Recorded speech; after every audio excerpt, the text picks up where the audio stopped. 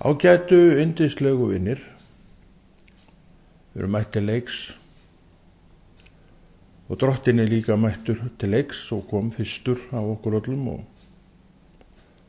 og er undirbúið okkur undir það sem hann er að fást við í dag og, og við höfum nú góða reynslu af því að það er eitthvað gott og uppbyggilegt og eitthvað svona sem við eigum að vera með í fararveganistin okkar í dag og og þú sem ert að hlusta á þetta heyrir og færð því það veganesti sem drottin hefur útbúið þér og er um það bjala að fara að þér.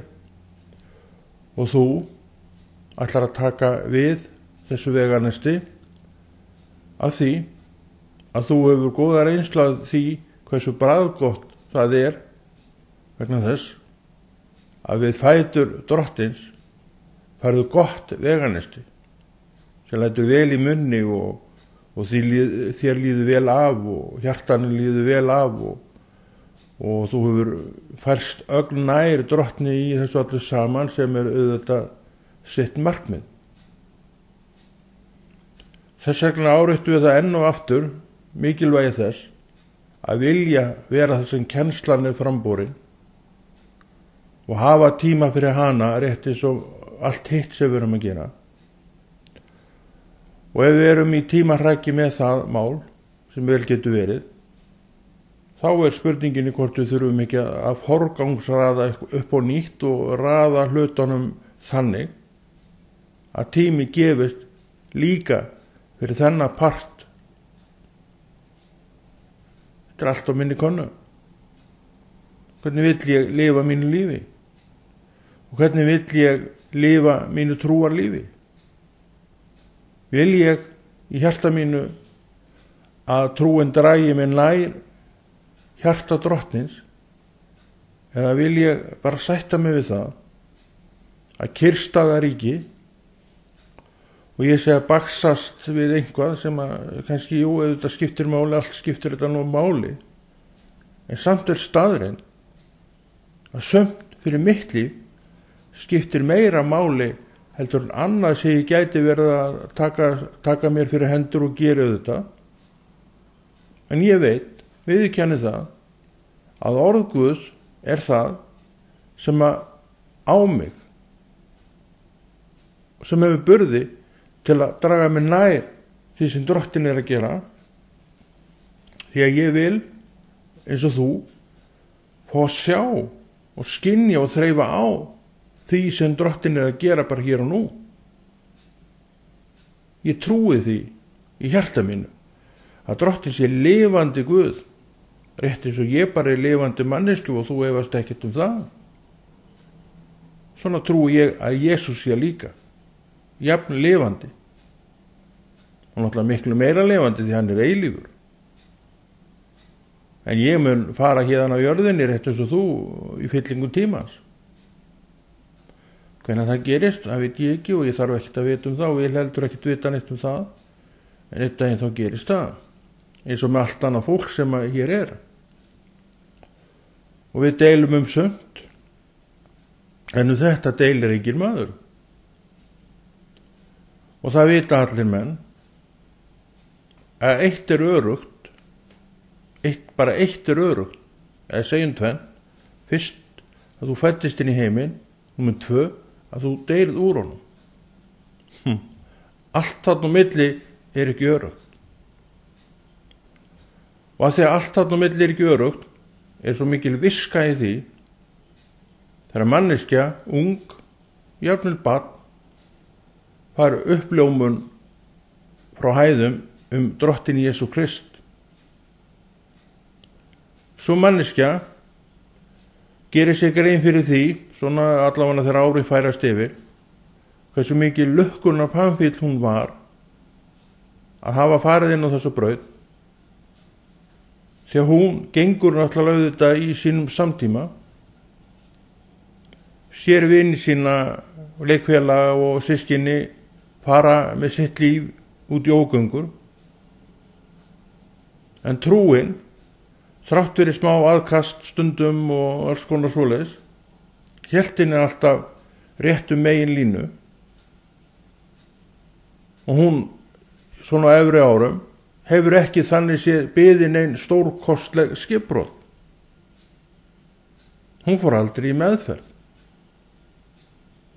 Og sá sem er í meðferð er það vegna þess að hann misti tökin á því lífi sem hann hóf fyrir mörgum árum fyrr fann spennandi en hata þegar hann er komin á þann stað hann er að ganga inn í meðferðin skipbrott sumir og margir endar taka við Jésu þar. En þeir gáttu gert það áður heldur hann að lífið byrjaði að dansa við þá, sinn dans. Og þessi manniski sem var svo heppin að vera barnaðaldri þegar þetta gerðist horfir á, hefur samúð með er reyndi ekki sjálf og er þakklátt verið það því hún sér engdina því að drottin er svo góður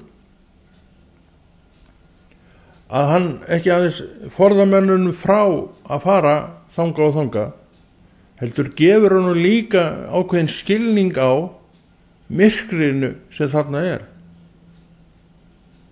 og baslinu og bölinu sem þarna er.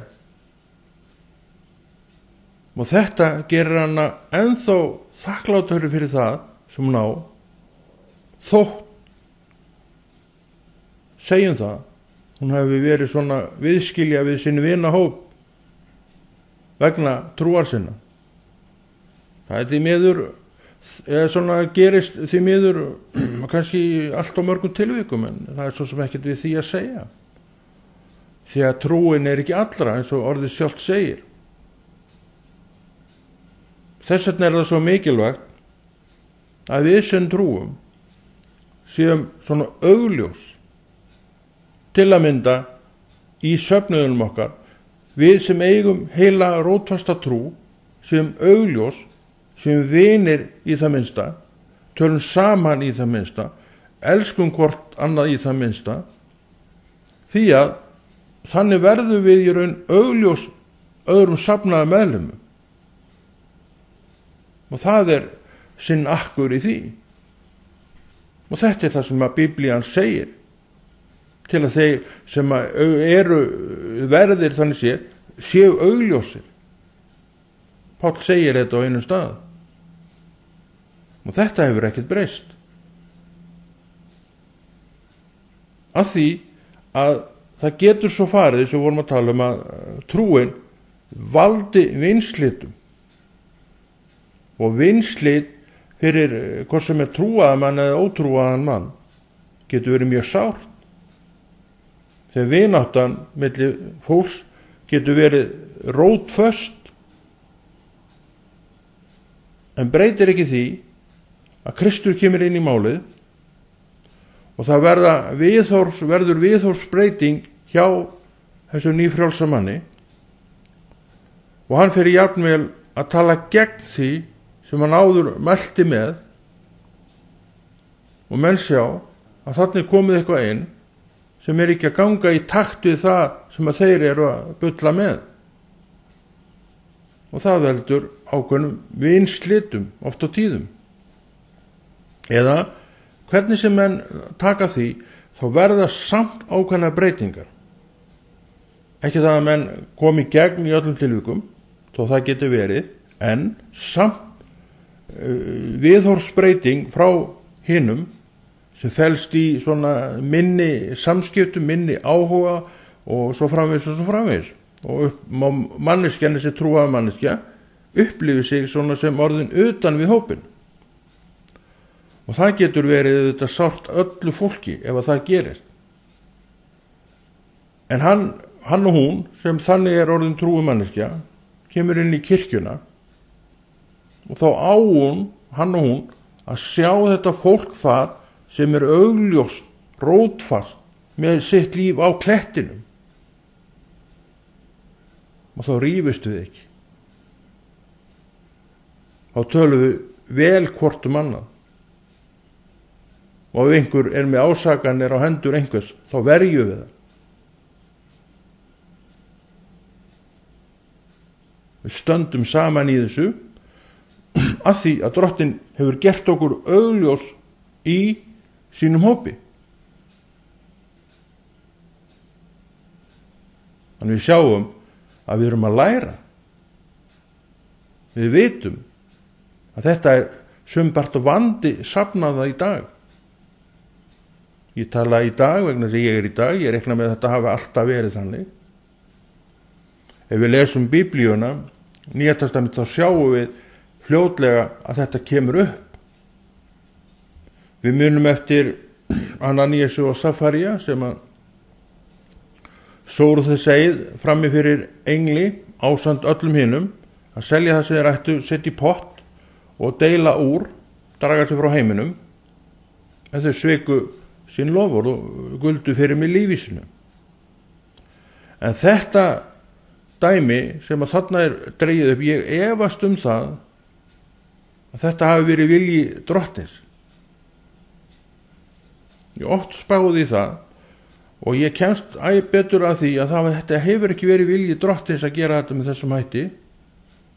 Akverju skildi drottin hleypa heimilslífinu í uppnám fjölskyldunni í uppnám með því að fara fram á það við mig segjum það að ég væri fjölskyldum með fjög og fimm börn.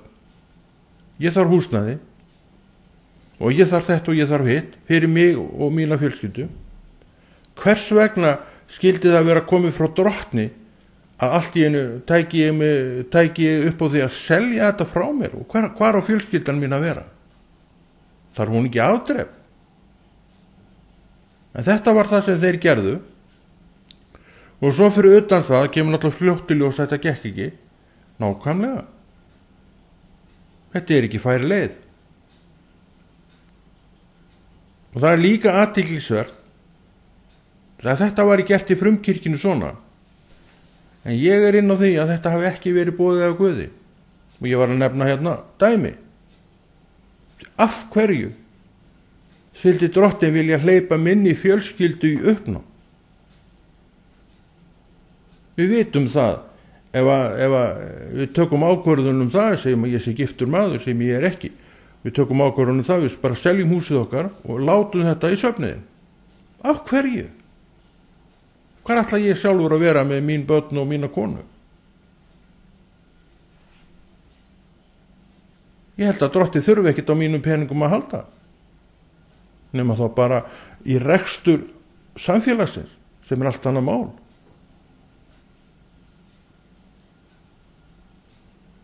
Er hann ekki einfær um þetta?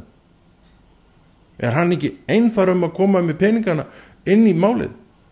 Jú, og hann gerir það. Þannig við sjáum að menn fara nú hljótlega svona að horfa framhjá Guði og svona taka svolítið yfir til sín og við viljum gera þetta svona og við ætlum bara að skilja okkur að frá heiminn. Það er raunulega að vera að tala um það. Við tökum ekki þátt í þessum heimi, erum bara með allt fyrir okkur, þurfum ekkit á heiminum að halda. Það var ekki það sem að drottin sagði. Hvað sagði það? Farðu út um allan heim og bóðið fagnæðarreyndir. Við eigum að vera í heiminum. Það kemur fram aftur og aftur og aftur og aftur. Ekki hegða okkur eins og heimurinn en við erum í heiminum eins og nýr við eigum að vera þar sem ljós vera við eigum að vera augljós bóðberar fagnarreirindisins og krist þar sem við erum og það er ein leið til þess. Það er að vera með all líf sitt á klettinum Kristi. Það höfsta við getum verið með ís og þís í alls konar uh, starfsemi sem við verum að gera. En samt tökum við ekki okkur reglulega frá fyrir kjensluna að því okkur finnst jafnvel þetta verður svona svolítið óþarfi. Ég er búin að vera svo lengi í þessu að ég eh, þarf eiginlega ekkert að vera lengur að þarna. Hvað viltu þá gera sem er þarfara heldur en það? Þú svala því. Ég er búin að vera trúaður eins og ég oft sagt í, í 25-6 ár. Þetta er jafn mikil þörf hjá mér að vera ennþá á þessum stað eins og ég hef alltaf verið. Ég hef aldrei veiklast í þessu og Guð gefi mér að ég veiklist ekki í þessu því að þetta er það sem okkur ber að gera. Og auðvitað margt, margt annað líka. Við eigum ekki að sleppa því að sitja við fætu drottins og leiðum honum að tala til okkur og útbúa okkur það veganesti inn í daginn sem við þörfum. Segir ekki drottin það sjálfur ef þú ert í mér þá er ég í þér. Jú en hvaða gagnir að því að hafa þetta með þessum, þessum hætti ef að ég síðan er búin að gleima því að þannig sé skipulæð drottin yfirgefum ekki neitt. En er hann í mér öllum stundum? Hann er það já ef ég minni mig á það. En ef ég minni mig ekki á það þá er ég raunverulega bara að hugsa all, eitthvað allt allt annað. Hvað er þá þetta samband fallega fagra samband sem á að vera á milli mín og Jésu ef ég mann ekki einu sinni eftir hún það er nú ekki mikið sjáanlegt. Og, og við fætur drottins er líka áreiting til mínum það að ég muni eftir hún það er ekki líka hluti vandans að við munum svo sjaldan eftir honum akkur koma þessi kvíðakust okkar? Og við segjum það ráðist á mig. Jú það er ráðist á þig. En hvað er að ráðast á þig? Þetta eigið hold. Akkurju það býr ljós og myrkur í hverju mannesku kennir ekki bíblíðan þetta líka? Jú. Árásinn sem kemur er ekki utanaðkomandi. Hún er í þér sjálfum og sjálfri. Myrkrið í þér er að taka yfir. Það býr allt í okkur sjálfa og Páll þessi stórmerkilegi postuli sér þetta. Og hann segir það með þessum orðum. Ég veit að ekkert gott býr í mér sjálfum. Það er í holdi mínu. Hvað er hann að tala um? Myrkrið í honum sjálfum sem kemur og ræðst á ljósið í mér sjálfum.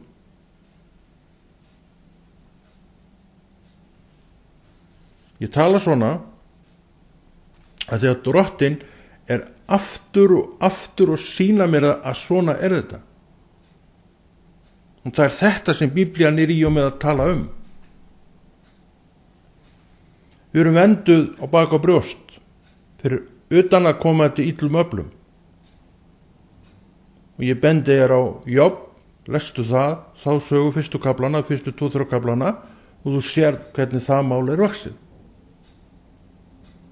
en heilagur andi er í mér til að vernda mig frá mér sjálfum og myrkrinu sem býr í holdi mínu. Og ég er að fara að gera eitthvað sem ég finnst erfið ég byrja að kvíða og ég hafnilega óttast það. Við þekkjum þetta. Og við segjum það er ráðist á mig. Og ég tek undir það. Það er ráðist á þig. En frá þeim partí í þér þessi myrkrið á heima en ljósið er öflura en þú þarfst að leifa því að skína. Sjáu þið hvernig við erum búin að draga hringin utan um okkur sjálf hvað þetta var það og hver getur raun og veru þrætt fyrir þetta? Því hann sér það núna að svona er þetta. Akkur í drottin er að ofinbera þetta fleirum heldur en mér. Mann sér að biblían er að tala um þetta mál meir og minna. Við erum venduð fyrir þessu illa afli. Út, saði Kristur. Maður þá fór út. Og við munum eftir Páli og spásagnar konu konuna sem var gætt spásagnar anda sem gekk á eftir einn daginn út á daginn inn og rópandi það sem hún átti ekki að rópa að þetta veri Guðs menn þegar þeir skildi hlusta á þá það sem þeir var að segja. Og Pál, Páli þetta þreytti Pál en hann leti þetta ganga yfir sig í nokkra daga. Þangað til hann fekk nóg snýr sér við talaði til andans og hent honum út. Og hvað gerist hann fór og fylgdi þeim ekki eftir það. En þetta kostaði ofsóknir gegn honum því að þessi manneskja blessaða manneskja var að gefa eigundum sínum fjö því hún var að spá gegn gjaldi. En nú var það farið því andin sem spáði var farin orð frá Páli út hann kom ekki eftir enn og aftur sjáum við það að þetta er ekki vandamáli fyrir mig sem mannesku það býr nefnilega ekkit gott það er að segja í holdi mínu. Það er verið að ráðast á mig. Ég fullur að kvíða og óta rétt það er verið að ráðast á þig og mig. En frá mínu eigin hlið sem er dökk. Og enn og aftur sjáum við mikilvægi þess að skilja orðið. Því að það talar um þessi mál aftur og aftur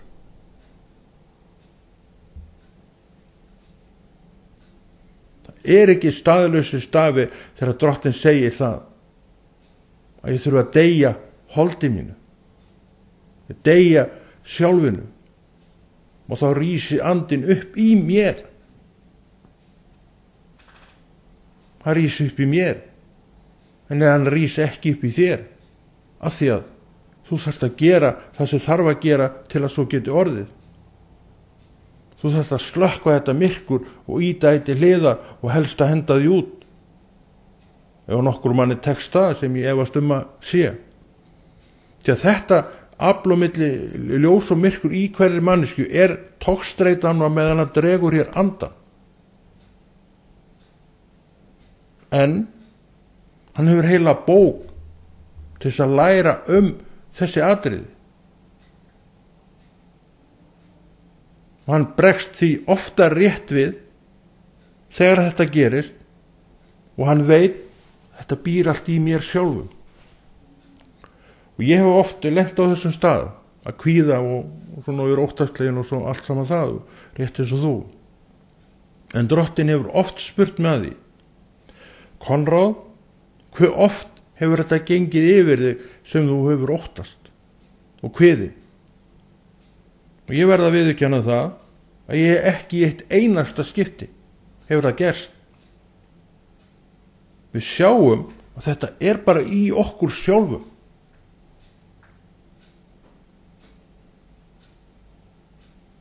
Og þess vegna sitjum við fætur drottins kannski er einhverjir að heyra þetta í fyrsta skiptið.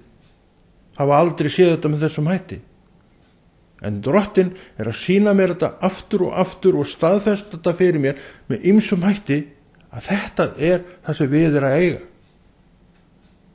Og ég bendi aftur núna að þú kíkir á Jópsbók og eftir þegar þetta er lokið og lestu fyrstu tvo kapla, þeir eru ekki mjög langir þá sérðu þessa vend sem er til staðar sem að meira segja erki óunur mannkins og Guðs Satan viðkennir hvernig ná ég að geta það segir hann við Guð? Þú sem ert með vendi yfir honum bak og brjóst allar hringin hvernig ná ég að koma staðanum hann er að tala við þig. Hann er að tala við mig. Svona er þetta. Þetta var hjá Jobb sem átti ekki krist. Þetta er miklu frekar hjá mér sem á krist. Því hann er það aðsta sem drótti sendi til jarðarinn það kemur ekkert æðra en Kristur. Og skildi hann ekki hafa útbúið allt hvað þetta varða en það breytir ekki þeirri staðrind að þetta er þarna. Og ekki heldur þeirri staðrind sem við vitum öll að það býr bæði ljós og myrkur í hverju mannesku fyrir sig. Og hún, þetta fer korun það bara fer eftir því hvað er uppi hvernig nokkur líður svo lesa hérna svolítið núna.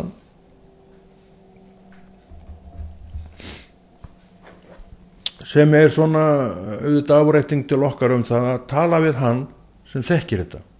Læra honum sem veit þetta. Og hann heitir Jésu það er allavega það sem ég hef gert og það hefur reynst mér best af öllu. Og þess að ég sé neitt að gera lítið úr neinu sem að ég heyri Guðsfólk, menn og konur segja það er allt allt annað mál. Og það mun ég heldur ekki gera. 11. kabli í Lúkasa Guðspjáls svo bara við er Jésu var á staðinum að byggast fyrir að einn læri sinn hann saðu hann þá er hann laug bænsinni drottin kendu okkur að byggja eins og Jóhannes kendi læri sinnu sínum. Hann vildi hann fá einhvað sem Jóhannes var búin að vera að gera við sinnhó en bæni sem að Jésu kemur með er higgi ekki það sem að Jóhannes var neitt að gera. Þetta liggur það í orðum drottins að svo var ekki. Já, en hann sagði við þá? En hann sagði við þá? Hann bara kemur með frá sjálfum sér. Þegar þeir býðist fyrir þá segið fadir helgist nafn þitt til komið þitt ríki. Gef oss hver dag vort daglegt brauð. Fyrirgef oss voru að syndir en það fyrirgefu við öllum vorum skuldunautum og eigi leið þoss í frisni þetta er Lúkasa Guðspjall.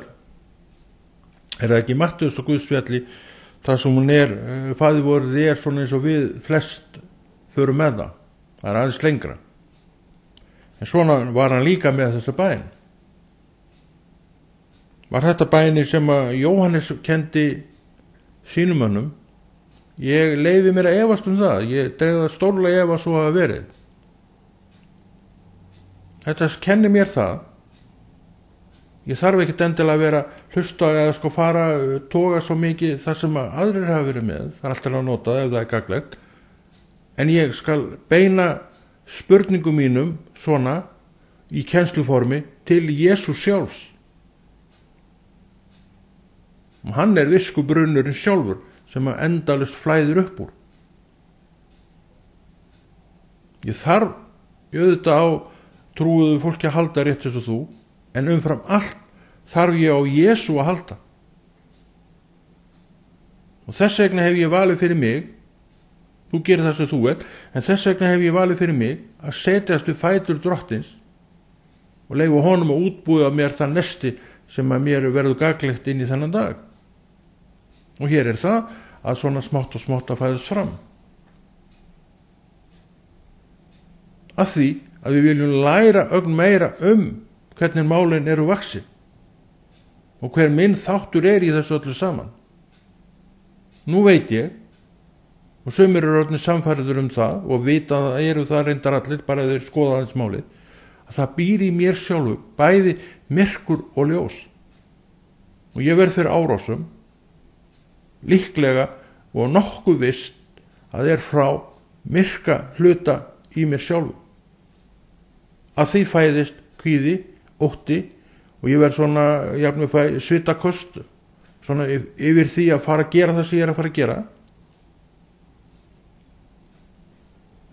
En svo segir drotti, spyr drotti mig að því hvenar hefur orðið af þessu þessu óurlega sem hún hefur dreyið upp fyrir þér og ég verð því miður að reykja sjálfa mig með því að segja aldrei. Sjáu ekki að þessu hvernig þetta býr í okkur sjálfum. Og Kristus segir á einu stað að það þarf ekki að fara upp í heiminni til að sækja Krist. Og að það er spurning sem að einhverju spurði hver fyrir fyrir mig upp í heiminni og sækja Krist og kemur meðan ofan? Eða hver fyrir niður í undurdjúpi fyrir mig og sækja Krist þangað hann segir orðið er hartla nærðir í hjartanu þínu. Hvað gerist er það þetta myrka afl í þér myrkri í þér sjálfum er að ráðast á þig? Þú kalla fram orðið. Því það er í hjartanu þínu. Og þú ert með þitt hjarta með þér og allt sem í þér er er bara það sem þú ert. Og þá spyrð þú ekki en býtu hver á að fara upp í heiminin og sækja hann? Fyrir mig þegar ég þarf á hann að halda. Og hver ætlar að fara niður í undirdjúbun og draga það til þess að þegar ég þarf á því að halda? Hann kemur svarið þetta er bara í þér. Og er það sem þú ert. Svo segir hann nota það. Við erum með afsökunum. Akkur bregðust við svona við okkur vantar trú allt og oft. Og akkur vantar okkur trú. Það er margt sem kemur þar inn í. Eitt kannski algengasta er þessi skerta sjálfsmynd sem allt og mörg af okkur er um haldin. En drátti vil vinna bug á henni. Og þess vegna bendir að mér á ljós og myrkur í mér sjálfum og segir mér að hafa myrkrið alls ráðandi því þá sjá ég líka vel. Hann segir ef auðvitað þetta er bjart er allur líka með þinn í byrtu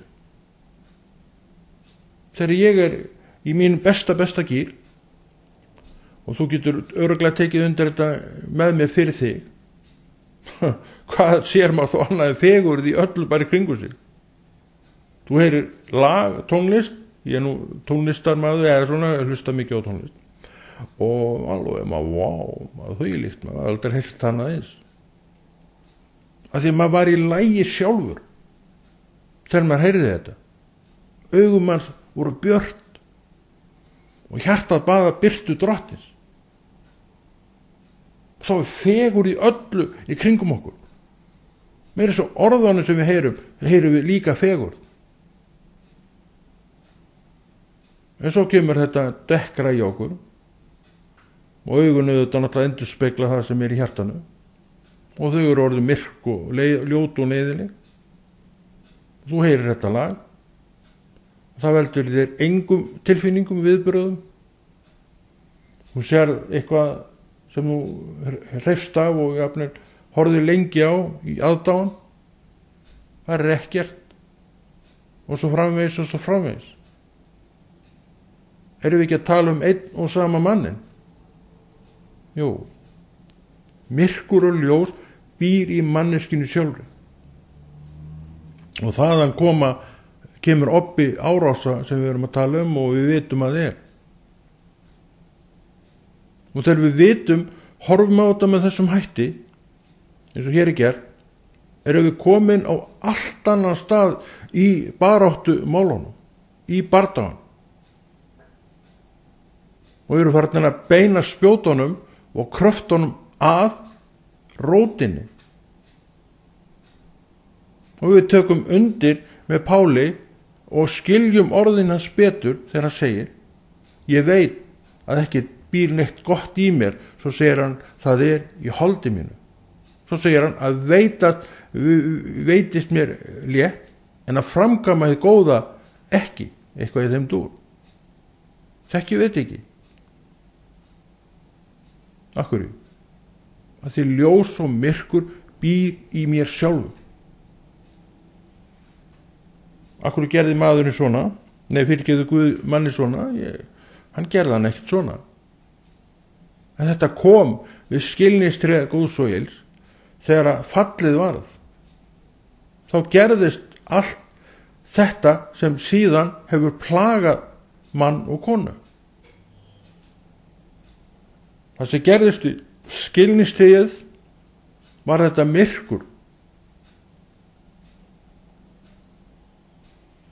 Og ljósið kom eftir að það, því var hendt út. Og er þessi aðskilnaði Guðs og manns.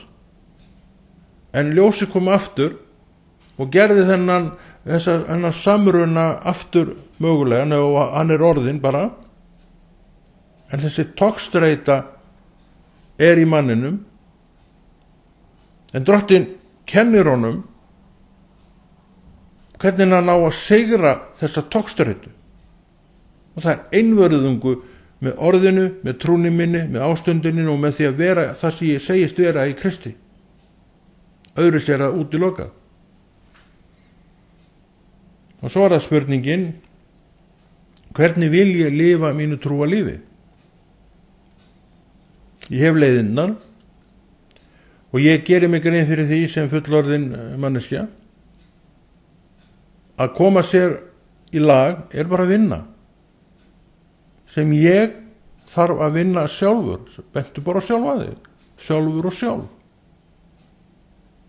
Enginn getur unni þessa vinnu fyrir mig jafnvel þótt hann vildi það. Sumt einfallega verð ég að gera sjálfur er þetta ekki þannig annars Já, ég bara talaðu þetta fyrir mig það hefur verið þannig hjá mér. Sem er að hjálpa mér og, og allt saman það er allt allt annað mál. Svo lesa þetta aðeins meira. Fara hérna í 33. versið um augað. En saði Jésu engin kveiki ljós og setur það í felur niður undir mælikjær heldur að ljósa styku svo þeir sem innkomi sjáu ljósið. Þannig er hann að tala um, um hennan aðskilna sem þarf að verða til að mynda í kirkjunni að þessir trúðumenn séu augljósir. Þeir eiga ekkert að vera í felum í sína trú þeir eiga að vera augljósir í kirkjunni. Til ekki menn velkist ekki vafa um hverju hvers því að söfnuðurinn er bara eins og hann er. Hann er alls konar. Sumir skamt gengnir sumir lengara gengnir sumir búin að vera áratún saman. Og við gerum auðvitað þá gröfu til það, þessara mann og hvenna að þeir séu þetta augljósa fólk. Það hefst bara í gegnum vinnuna. En augaði lampi líkamanns auga þitt er lampi líkamanns segir hér svo kemur hann kemur hann með þetta. Þegar auga þitt er heilt þá er og allur líka með þinn bjartur en sé það spilt er og líka með þinn dimmur. Þannig að sjáum við það sem við verðum að tala um þetta ljós og þetta myrkur sem býr í mér. Jú hafa gerð ára á sá mig. En frá holdinu. Holdið dró upp þennan kvíðan út í maganum og vakti mér jafnum lóta og dró úr mér þannig að svitin fór að spretta á ennin á mér. En svo kemur þessi spurning. Hvenar hefur það gerst sem þú óttaðist? Og þér verðst tunga um tönn sem þú veist ekki að það hefur nokkuð tíma gerst. Og þetta er góð spurning og þetta er gott svar þegar það getur uppörfaði og hugreist þig. Þegar þú ert á þessum stað. Því að drottin er að setja fram sitt mál til að hjálpa manni og konu á göngunni ekki til að leggja dóm á. Og hann er komið með kennsluna sína að mér sjálfum 100%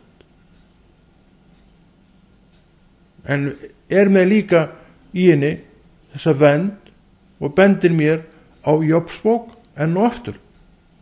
Þá sjáu ég þetta allt þar. Og ég hveti til að opna hann og eftir og skoða þetta bara sjálfur og sjálf og serðu hvernig í þessu liggur. Já gæti þess að ljósi í þér sé ekki myrkur? Gæti þess því að ljósi í þér sé ekki myrkur? Hvað merkir þetta? Hann setur þetta á mitt vald að spila rétt úr þessum mólum og nú veit ég þegar árásun kemur að að öllum líkindum er hún frá mínum dekkra mínum dekka, dökka parti sem að hugurinn hlifti af stað. En það býr í mig ljós þráttur hitt. Og við vitum hvernig við reykjum þetta á brott því að við höfum oft gert það líka. Og hvað gerum við? með bæninni, orðinu sem pompar upp og ítir hinn út aftur og við verðum aftur róleg og getum að heilum okkur tekið. Þetta er maðurinn. Þetta var það sem gerðist við skilnistri góðs og íls þegar þetta myrkur koldist yfir hann. Orðið er alla æfi mannsins að vinna það úr manninum en samt mjög að deyja með að helling í sér því okkur endist ekki æfin til að hreinsa þetta út þóttu við séum heil heilt trúað fólki í Jésu nafni En Konráð Rúnar Frifsson segir þetta gott í dag og veit að þú fengið eitthvað til að hugsa um og móða úr og, og blessast af og tilgangur ekki annar. Heldur þessu góða verki drottis áfram að því að þú ætlar að byggja áfram inn í þetta verkefni með honum.